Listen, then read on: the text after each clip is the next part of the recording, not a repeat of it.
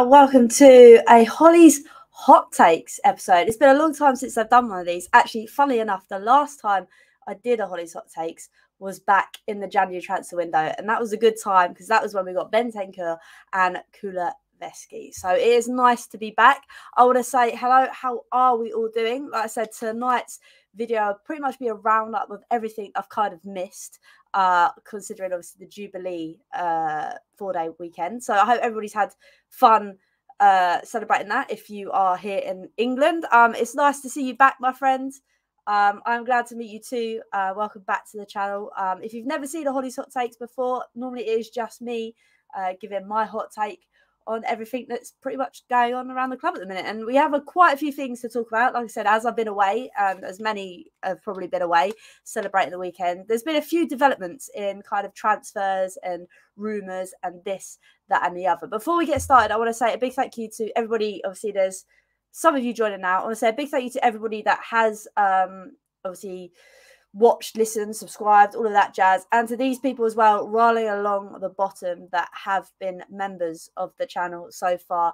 Uh, next year is going to be, well, next season, so to speak, uh, should be even bigger and better. So if you do want to get in that uh, and become a member, you'll be entitled to lots of fancy things, but they will be probably enforced probably in uh, the new season as I've got lots of things lined up. But anyway, let's get back to the the good stuff, which is obviously the fact that we have lots of different things to talk about tonight. Um, one of those things, including obviously players coming in and players going out. Um, obviously, the only real signing we've had um, so far, uh, well, that has officially come out is obviously Perisic. Um, which is very nice to hear. I think we're all very excited about it. And the other one that everybody keeps mentioning is obviously Bastoni. Uh, so let me get his face up right now. So Bastoni has been rumoured here, there, and everywhere. It hasn't been officially announced that we have officially come up with a bid yet. Um, but there is a lot. I mean, a lot of talk about him. He is obviously 23. He's a left-sided centre back. Now he can play centre back. I think Antonio Conte has said that he wants him to be Romero's starting partner next season, which will be quite interesting. But like I said, he can play on the left side, so potentially where Ben Davies plays. And I think that would actually benefit us, as obviously Perisic is already at the club for Tottenham. Um, having Bastoni in as well, they'll make up some good link up play uh, down that left hand side. But again, it is quite nice to have some versatility in terms of that he could play. Uh, at the centre back to obviously uh, aid uh, Romero as his partner, or he could also play left sided and help out Perisic down the wing. It'd be quite interesting to see what happens. I mean, thank you, Max, for joining. Bastoni times Romero, we are cooking. I feel it would be a very, very good partnership. Or like I say, we can't really down for Dier. Dier's done well this season, but Bastoni will be a cracking upgrade. Let me give you a bit more hindsight into obviously Bastoni. We've noticed that obviously he will be a great partner with Romero. He said that he's a left sided centre back, so he will fit into that back three. Uh, he's currently contracted with uh, the side he's at at the moment, which I believe is Inter till 2024, and they are asking for 60 million euros, aka in British money, that is 51.5 million. Now, there is no word that uh, Tottenham have officially bidded so far, so yet. There's still no official offers. Um, but he is close potentially to being a Spurs man. Welcome to everybody joining in. Bastoni would be a great signing. It would be. It would be lovely. Um, but yeah, I, I, would be quite interested to have this guy at the club. Like I said, it's, it's signing class. He's worked with Antonio Conte before. So it'd be rather interesting. We've just got to hope and wait and see that if Tottenham will actually, like Daniel says here, splash the cash. We've done so so far. I think the most interesting thing that I think I've, I've learned from today, and I think Alasdair Gold wrote about it, is the fact that obviously him and Perisic are very well linked together. Um, so it'd be exciting to see if he does come in. Uh, Tiny's coming. Conte paired Bastoni lesson about Perisic left wing back at Inter to title winning effect. Come on, Paratici. Agreed. I've just mentioned this, Tiny. Actually, we've we've got great minds. Um, they have worked together before, and like you've just said, Tiny, they've won stuff under Conte, and at uh, Inter. So it'd be interesting to see whether he does come in. I think lots of us are very excited for this signing. It's another big name again. It's another proven winner. So it'd be exciting to see what happens. Moving on from Bastoni, I'm going to bring up Cheap Slime's comments. Even Hollie, I need to ask you serious questions. If you were Conte, who would you want to sign and sell to potential to get very far in the UCL? I think we've um I think we've done so well so far, Cheap Slime. It's it is known for uh, uh Conte not to spend a lot of Guinea. Um, he makes very clever signings, which we'll get on to the next signing, which is inevitable very soon. Um, but I think it's it's also getting rid of those players as well. We'll get onto the those that guys that are leaving, but we've seen in January getting rid of players that aren't necessarily fully invested into Tottenham has done the uh, dressing room wonders. So not only is it getting people in, it's getting people out. Um, I'd like to go quite far in the UCL. Why not? We had Matt on here a few weeks ago from Tottenham Twitch channel saying, why not go all out? Why not go for it? We've got Conte. We're getting in some decent signings. What's let's not go all the way. So I don't know. It'd be interesting.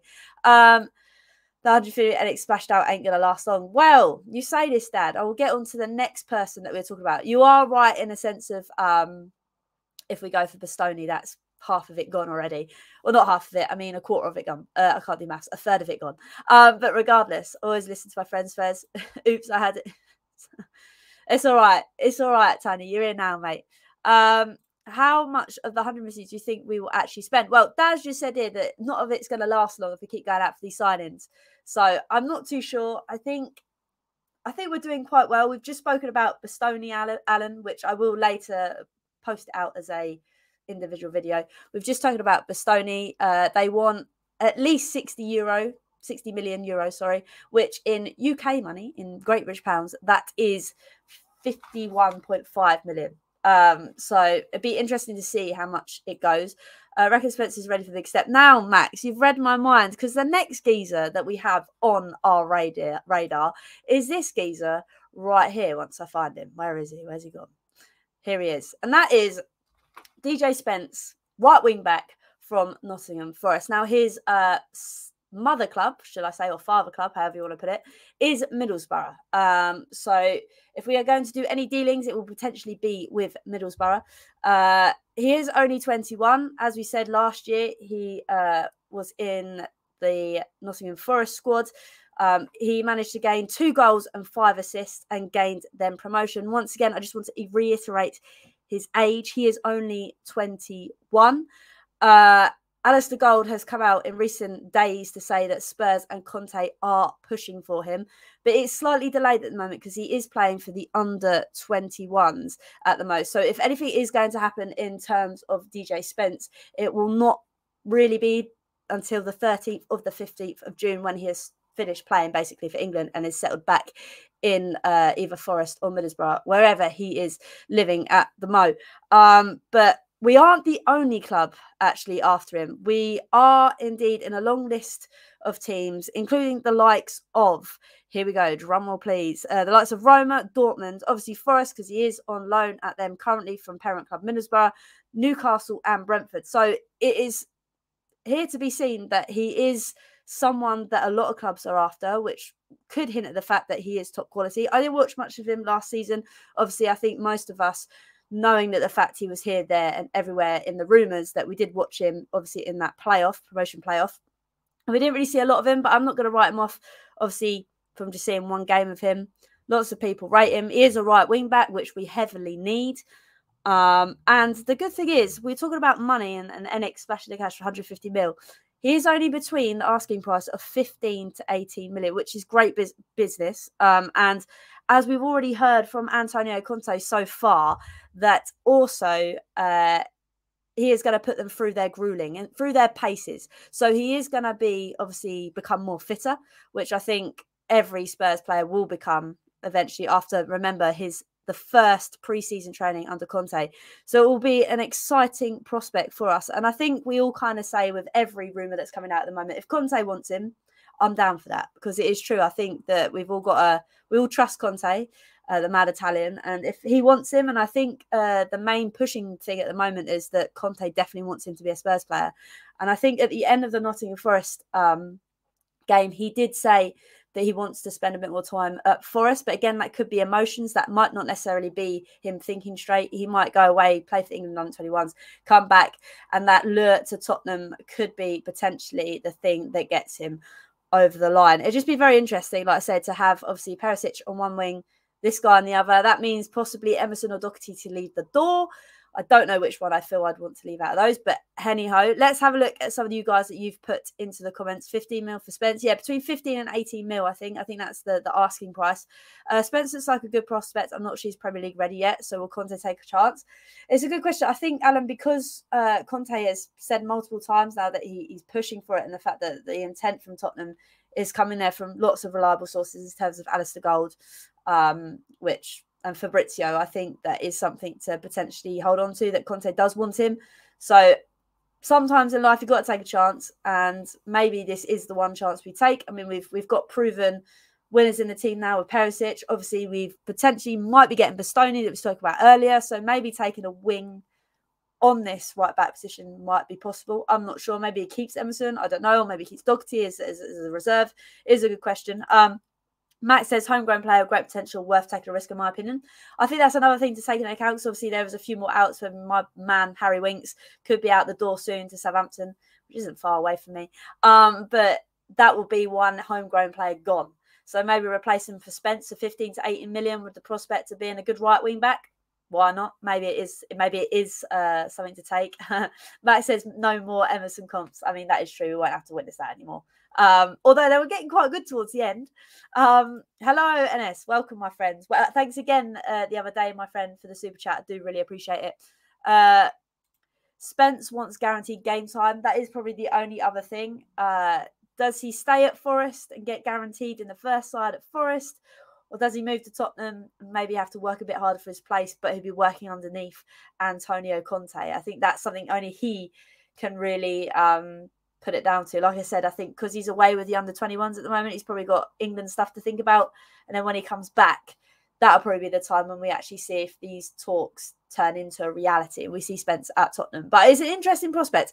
I am very excited for it. Um, that I can't say Martin say that. That would you like to see Bell back? Talks Cardiff want him. Uh, I think if they didn't qualify for the World Cup, congrats to Wales uh, yesterday then I think he would have retired. I think he would have done. Um, Cardiff potentially. There's rumours that he could go to Southampton. I don't think he's going to go to Southampton. I would like to see him back at Tottenham. I think under Jose Mourinho, even though he hardly ever played, the assists and the goals that he got uh, in that stint with us is great. Uh, would he would he work with Conte right before a World Cup? Uh, we know he's going to put them under their paces with a grueling pre-season. Is that something Gareth Bell wants? I don't know. I think again, it, a bit like Spence. I think it's down to what he wants. Um, I, he'll definitely join a club because he'll want to stay match fit for the World Cup. Uh, it just depends what club that will be. I wouldn't mind seeing him back at Spurs. I just don't know whether it would work with Conte. Um, and maybe he likes catch up too much. I don't know. Um, uh, by the way, what a performance from Ben Davies yesterday. Yes, again, Wales, congratulations for um, getting to the World Cup. But Ben Davies, my words, I think I posted a picture the other day. Uh, no, I think it was yesterday actually, of Conte giving Davies the eyes.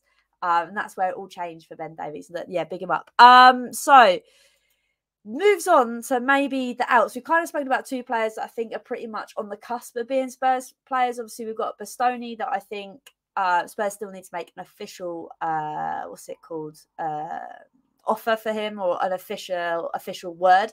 Um, Spence, I think again, it's up to him. We've got to wait for he comes back from the under 21 games. Um, but there is one person that is rumored to obviously be leaving the club. To be fair, I don't begrudge him or whatever, and that is Stephen Bergwijn. Uh, it has been known. I think there was a, a video clip that came out the other day um, where he basically said, It's difficult for me. I play well at a national team, but when I return to the club, people turn a blind eye to me. I need to find a solution. That sounds quite ominous, but then the reporter says, It is clear to you, you need to leave. And he says, Yes. Now, sadly for Bergwijn, I don't think it's necessarily worked out uh, for him. I think on big occasions, obviously, the Leicester comeback was magical It was amazing the fact he managed to get those two goals. But sadly, I don't think he's going to get ahead of the likes of Kulusevski. Obviously, Sonny if he plays on the other side.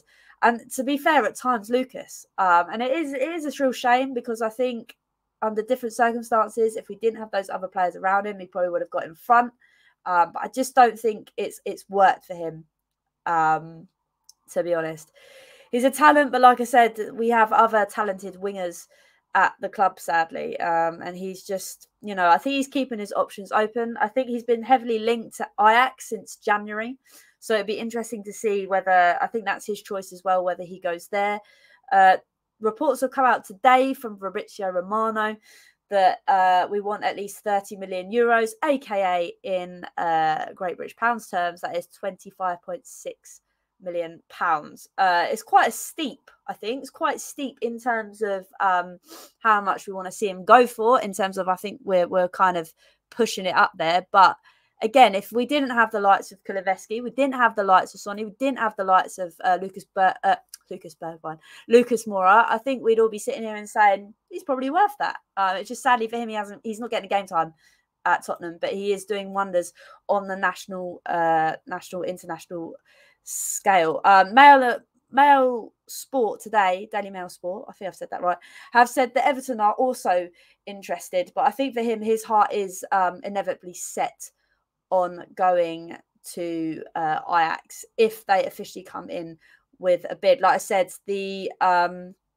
initial um, fee or the asking price at Tottenham is 30 million euros. Whether that is met or not, I don't know. But with ENIC and obviously Paratici at the moment, I think they will take a slight cut uh, in order to get certain players in. Uh, keep Lucas, good squad player and good attitude player. He can help us in big games. I think again he's a big person in the dressing room. Obviously, another player that has left recently is Gollini. And when we had Matt on the show for the end of season review, which if you haven't already, please go watch because Matt is um, from the uh, Tottenham Twitch. Um, he's, he's a producer at Tottenham basically, um, and he get a great insight into some players at the dressing room where he's at Tottenham Tottenham Way all the time. And he was saying how Gollini, he's he, he oh, at the time he hadn't left, but um, he was saying if Gollini leaves, he'd be quite devastated because he's a big character. Um, and I, I didn't really know that. I didn't. I don't think any of us really knew that. Um, but he was a big character. So I think, like you said, um, here, uh, Lucas is he's got a good attitude, and he is I think someone that has a big presence in the dressing room. Um, I'm glad you brought this up, Max, because yes, that is the that is the word at the moment. There there is a rumor going around that Saint-Maximin could be coming to Tottenham. But again, Max, do we really need another one? uh, again, I think it depends on his price, whether I want him or not. Uh, it'd be great because he's obviously Newcastle's, I think, best player. Um, but whether he comes to Tottenham, I'm not too sure. I don't think he'd get as much game time as he would do at Newcastle. Uh, again, that's up to him what he wants. I'm not too sure if I'm feeling the vibe. Obviously, I'd love him to come, but again, will we have the same problem that we had with uh, Bergwijn? Quality, but not quality enough to get ahead of some players? I'm not too sure. Bergwijn is better than Maximin. Fair comment. Fairs. I just don't think we've given Alexander him enough time. Well, not enough time. I don't think we've given him game time. He's clearly not in Conte's plans, uh, which is safe to see and say. Uh, Oh, I love it, except the thing on the top left. Well, that kind of brings me on to the next point. Obviously, we've gone over the three major points so far, which I will be making into little miniature clips, uh, which I will upload. Uh, but just going off topic slightly into other rumours and things, Harry Winks is obviously rumoured to leave Tottenham Hotspur this summer, uh, which means I will have to officially burn the doll because I haven't done so yet. Um, but yes, so the two clubs that are potentially after him are uh, the likes of uh, Southampton and Newcastle. Uh, to be honest, I think the the one that I think would probably work out best for him would be Southampton because Kyle Walker Peters is there. Um, and they I think they're good mates, so that'd be quite nice to see him move on to Southampton. But yeah, I think I'm kind of with everyone now. Harry Winks is not the geezer. Um, but yes, uh, what was the lowest and the highest moment as a Tottenham supporter last season? Uh probably um well, I'd say I wouldn't say it's the Alsacia because then that brought in Conte. Um, I think the highest point was obviously I think for me the you actually watched this all Ellis on the on the uh, end of season review, but the highest point was probably the um Arsenal game, lowest point was probably not having a shot on target for many games. Uh, Bergwijn would get a game time now because Europa will be playing in the cups. True. Maybe we hold on to him. But again, I think it's whether someone comes in because I think 30 mil, 30 million euros is quite a steep asking price. And I think we'd be decent to cash in, especially if we want to get Bastoni in. I think it'd be quite a good um, thing. Winks to Roma and work with Jose. Like, oh, yeah, no. I don't think that's for him. Time for him to move on. Best thing to do at the moment will always be our Tottenham boy. Agreed. And I can agree with that. Um, Seville have been linked with Winks as well. I don't think he's going to move abroad, to be honest. I don't think he would. I think Southampton's probably the best fit for him. And that's closer to me. Um, but moving on, obviously, the latest news as well, just one to throw in there before we wrap things up, is obviously the fact that Gabriel Jesus has been obviously thrown about here, there, and everywhere. Obviously, our people down the road, uh, them lot, Arsenal, have been the biggest people to have been linked with him. Mikel Arteta has said that he is the one that he wants this summer to bring in the striker. Uh, and Tottenham, Tottenham have decided to put a spanner in the works and potentially go after him too. I think the asking price at the moment is 40 million. Uh, we have apparently offered today, I don't know how true this is, but 42.1. Uh, I don't know if that's true or not. Uh, I think it's just to wind up Arsenal. Uh, I again, I wouldn't say no to to bring him in. Uh, like Max says, uh, just signing for banter. The one signing that Arsenal get, we then undermine and take from them. Uh, but I I don't know if the whole reason Jesus is leaving uh, Man City is because he wants to be the man on the starting 11 team sheet week in, week out. Uh, and sadly, I think at Tottenham, that won't be the case for him. As much as he'd be great as a uh, as a backup, uh, that's what he wants because that's basically what he's been doing at City. So, as much as it pains me to say, I feel like Arsenal will probably get him and he'll probably do wonders for them. Um, not when they play us, though. But I, I just don't think it's it's worth our time or money to go after him. Um, don't want Jose Jesus's average at best eight goals, eight assists isn't good enough for the title the team where you have KDB giving you assists. Agreed, but he hasn't. He didn't get much play time. I think that's his main issue. I think that's why he wants to leave, Alex. I think he wants to leave because he wants to be that geezer um, that's on the team sheet all the time. So I'm not sure. Uh, Winks to Southampton plus cash for Ward Prowse. Oh, can you imagine it, Alan? That would be lovely. But we have Champions League. We do have Champions League, but City also had Champions League they also have Champions League, and he wants to leave because he wants more game time. Um, he wants to be the man on the team sheet. I don't think he's going to get ahead of the likes of Sonny or Kane week in, week out. Uh, oh, was it 28 games? I beg my pardon. Fair enough. Fair enough. That is, that is fairs. Uh, 50 mil for backup striker. Pass, not going to lie. Yeah, I'm not feeling it. And I know that we need a backup striker because we've been saying this for a bloody long time. But I just don't think it's going to be personally what uh, Gabriel Jesus wants. He's I don't think he's going to want to come to us to potentially not know if he's going to be starting every game. And I don't think he will with um, Kane and that. Uh, can you guys not play two up front with both Kane and Gabby? Mm, I don't know because then it drops out. That's not how Conte likes to play. So I don't think that will work personally. I, I don't think. I just don't generally think he's in Conte's plans. I think it's just been put out there to wind Arsenal up. Personally, uh, get Silva Nunez as backup. I think Nunez is already pretty much done and dusted. Um, I don't think we'll be getting him, but yeah, they're pretty much all the transfer rumours today. Obviously, we've got Bastoni, uh, Spence, and obviously Steven Bergwijn wanting out. I will be uh, making them into little clips. So if you are just joining us or you have missed something, don't worry, they will be uploaded. Please make sure you check them out, like, comment, and uh, share them out. Um, like I said, next season is going to be a big one in terms of content on this channel. Um, hoping to get to 2K. So tell all your friends and your family to subscribe. That'd be excellent. Um, and hopefully in the next coming days, we'll have something new to talk about in terms of a player in a Spurs shirt. I mean, the other player that is potentially done and dusted is, also, is obviously Fraser Forster, but I don't think his contract has officially ended yet. Hence why it has not come out to all of us to say that he is a Spurs player, but um, it'll be very interesting to see when that is out.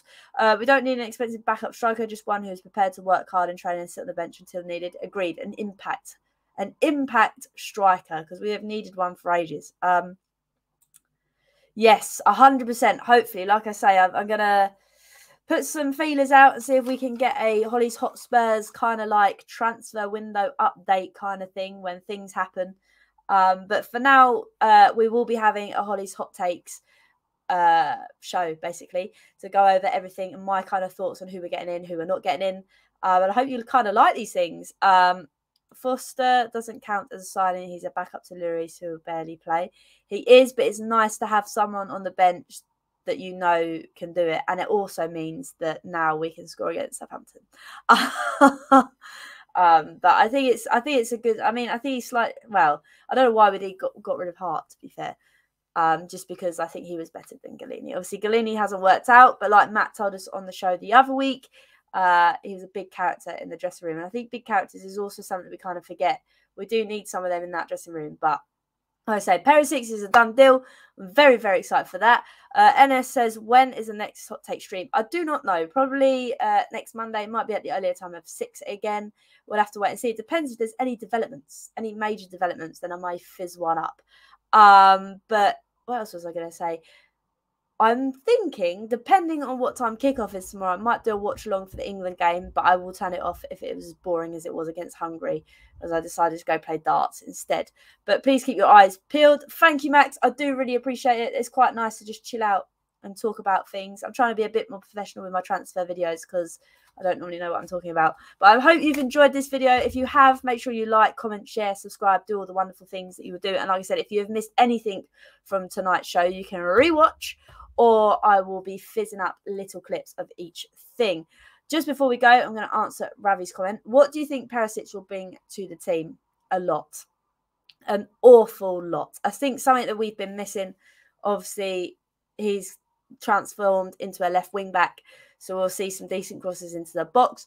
He's also, I think, if you look back on the video I loaded uh, last week, when he signed for us. Uh, there's a lot of stats in there. I can't remember off the top of my head. Um, but he's fairly old in terms of uh, age wise, but he's not in footballing wise. He played so many games last season.